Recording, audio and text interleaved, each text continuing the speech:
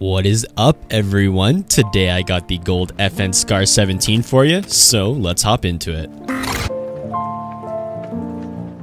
This video is going to be pretty quick today, since the Scar is pretty straightforward with the camo challenges, and the attachments are pretty simple too. Speaking of the attachments, let's hop right into it. For my muzzle, I just have the monolithic suppressor for that sound suppression and damage range increase. The cons don't really bother me that much. For the undergrip, I have the Merc foregrip. The only reason I'm running the Merc is because I enjoy the hipfire accuracy increase and of course the recoil control. For the ammunition, the 30 round mag, just because I hate only having 20 rounds in the mag originally. And to help with ammo, I have fully loaded, just to start with a maximum reserve of ammo, so I'm not worrying about anything. And for the optic, I have the 4 times flip hybrid. It is so far my favorite optic on any assault rifle. Dropping in like a care package to the camo challenges, there is going to be 10 categories. Within each category, there's 10 total camos. And if you're an absolute scholar in math, you'll know that that is a total of 100 camos. Once you unlock all 100, you will unlock gold. Once you unlock gold for all assault rifles, you will unlock platinum.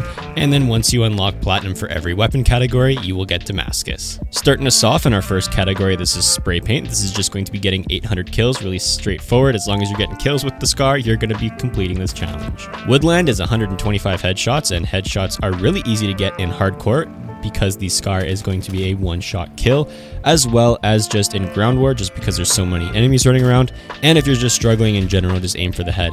Take that extra second or two, get that headshot. To complete digital, this is going to be 160 crouch kills. Best way to do this is just crouch by any objective in an objective game mode, and when enemies push to either destroy it or capture it, you can just get those easy crouch kills. And if you get really good with going into crouch when you get into a gunfight, you will obviously knock out crouch kills really fast. And if you're camping in a really good power position, of course you can also get crouch kills there as well. Dragon is going to be getting 75 hipfire kills. Now the hipfire accuracy isn't the best with the Scar, but that Merc foregrip that increases the hipfire accuracy really helps you with this challenge. Best map to do this on is Shipment, run around, just no scope everyone. And you can also do this on Shoot House, as well. Splinter is going to be getting a 100 long shots. Best way to do this, honestly, is just hop right into ground war because most gunfights you're going to be getting in are going to be long range anyway, unless you're really close to an objective. Long shots will come very naturally in ground war, and if you're a 6v6 player, any large map or long sightline will help you complete Splinter. To complete Topo, this is just going to be 100 mount kills. As long as you can mount your gun on the ledge, corner, wall, wherever, as long as you're mounting your gun and you get a kill while mounted, you get points towards the Topo challenge.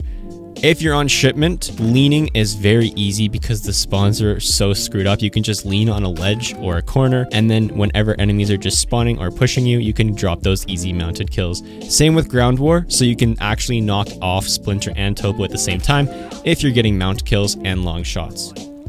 Tiger is going to be 180 kills with 5 attachments equipped. As long as your gun has 5 attachments total, you'll be getting kills towards Tiger. Pretty straightforward and self-explanatory. Stripes is going to be 50 kills shortly after reloading. All you need to do is get a kill 5 seconds after you reload within that time of 0 to 5 seconds and you will get one of those kills towards stripes. Best way to do this is actually to switch out whatever weapon perk you have, if you have one, to sleight of hand so you're reloading fast enough. Once you spawn, shoot one bullet off, and every time you're about to get into a gunfight or push an enemy's territory, you can just get a quick reload in, and you can easily drop those kills shortly after reloading. Reptile is the exact same as Tiger, except this time you have to have no attachments on the Scar.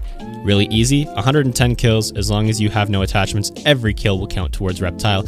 And to finish us off, we have Skulls, which is 35 times we have to get 3 kills without dying. Score streaks and equipment do not count, so they have to be gun kills.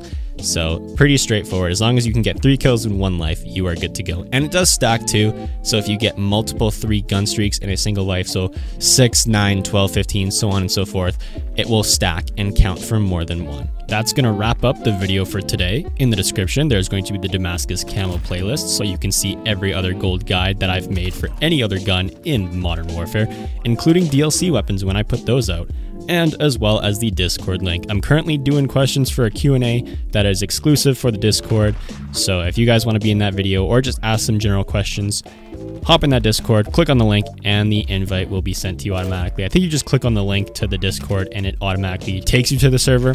I'm pretty sure that's how it works. Anyway, leave a like if you like Minecraft, It is scientifically proven that by smashing like your PP will grow, and if you dislike your PP will shrink. It's I don't know guys, it's just scientific fact, don't even ask me. It's researched by every scientist ever. Uh, you'll never find a paper on it that's published because it's just a common knowledge fact. I'm about to head out, and if there is one, I'll see ya in the next one. Peace.